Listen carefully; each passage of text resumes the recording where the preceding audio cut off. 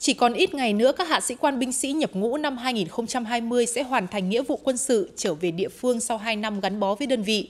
Quá trình huấn luyện, rèn luyện, trưởng thành trong thời gian tại ngũ chắc chắn sẽ là nền tảng quan trọng để họ tiếp tục hành trình lập thân lập nghiệp.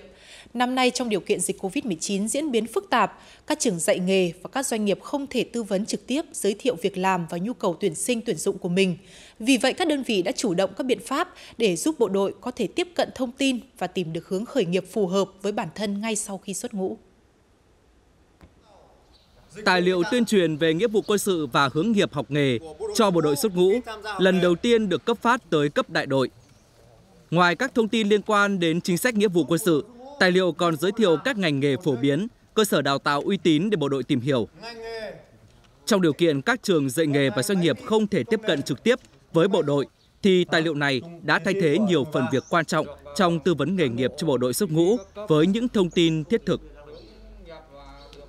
Sau này xuất ngũ, em định hướng là đi học nghề lái xe, được đi nhiều nơi. làm Em muốn kiếm cái nghề lo cho bản thân và lo cho gia đình sau này. Cùng với tài liệu được cấp phát, Sư đoàn 316 cũng chủ động xây dựng các tài liệu hướng nghiệp riêng để tuyên truyền trên hệ thống truyền thanh nội bộ. Các cán bộ từ cấp phân đội cũng chủ động cập nhật kiến thức nghề nghiệp, liên hệ với đường dây nóng của các trường nghề, các doanh nghiệp để sẵn sàng hỗ trợ, giải đáp mọi thắc mắc của bộ đội. Mục đích là bằng mọi cách để bộ đội được tìm hiểu, tiếp cận các thông tin nghề nghiệp một cách nhanh chóng và hiệu quả. Những năm gần đây, xu hướng bộ đội học nghề tăng lên. Như năm nay ở sư đoàn, qua nắm bắt nguyện vọng thì có tới 80 đến 85% số chiến sĩ xuất ngũ mong muốn được học nghề. Để cho thấy tư duy khởi nghiệp, lập nghiệp của bộ đội, nhất là số con em đồng bào dân tộc à, đã tăng lên trong toàn sư đoàn. Ở Lữ đoàn Đặc công 113, chương trình tư vấn nghề nghiệp dịp này lại tập trung vào giới thiệu những gương bộ đội xuất ngũ khởi nghiệp thành công, làm kinh tế giỏi. Qua đó, có phần tạo động lực, khích lệ tinh thần cho các chiến sĩ chuẩn bị xuất ngũ. Lắng nghe tâm tư nguyện vọng, đưa ra lời khuyên, định hướng những công việc phù hợp cho quân nhân chuẩn bị xuất ngũ. Cũng là cách mà Lữ đoàn 113 giúp hiện thực hóa khát vọng học nghề để lập thân lập nghiệp cho các bạn trẻ.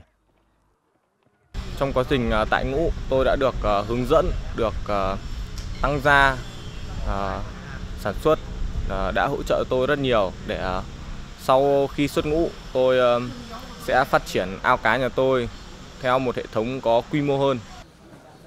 Chắc hẳn mỗi chiến sĩ đều đã có dự định cho riêng mình rằng họ sẽ làm gì và làm như thế nào để khởi nghiệp sau khi rời quân ngũ.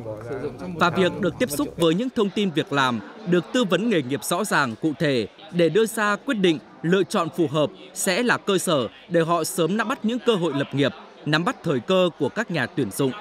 Đồng thời, có thể sử dụng hiệu quả nhất những chế độ chính sách mà một quân nhân xuất ngũ được hưởng để bắt tay vào hành trình khởi nghiệp lâu dài.